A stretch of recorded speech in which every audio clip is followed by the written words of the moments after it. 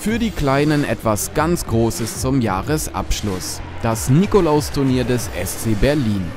Judo von morgens bis abends in der großen Sporthalle des Sportforum Hohenschönhausen.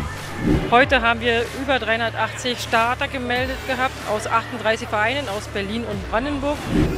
Gekämpft wurde in den Altersklassen U10 bis U13 in Gewichtsklassen von 22 bis 60 Kilogramm. Vor allem für alle Sechsklässler ist das Nikolausturnier etwas ganz Besonderes. Es handelt sich nämlich um ein Sichtungsturnier.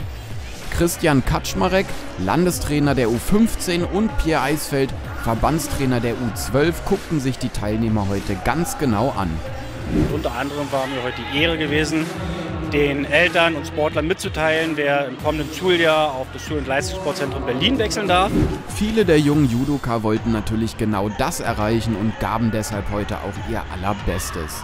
Leona und Lena vom SC Berlin waren zwei von ihnen. Die Freude nach der Mitteilung, dass sie im nächsten Jahr auf die Sportschule wechseln dürfen, war nicht zu übersehen. Als ich erfahren habe, dass ich angenommen werde, dachte ich, ich war in einem Traum. Ja, ich dachte auch so mal, kneift mich mal oder helft mir oder hä, was ist hier los, dachte ich mir. Wer es auf das LSZB schafft, kann sein Hobby nun als Leistungssport weiterführen. Neben den schulischen Aufgaben steht hier nämlich auch tägliches Judo und Sporttraining auf dem Programm. Auch Ben Cordest ist heute mit dem klaren Ziel angetreten, den Sprung auf die Sportschule zu schaffen. Die Konkurrenz in seiner Altersklasse U13 bis 46 Kilogramm war heute jedoch sehr stark. So musste er sich bereits einen Kampf vor der Medaillenrunde gegen Yannick Rösler geschlagen geben.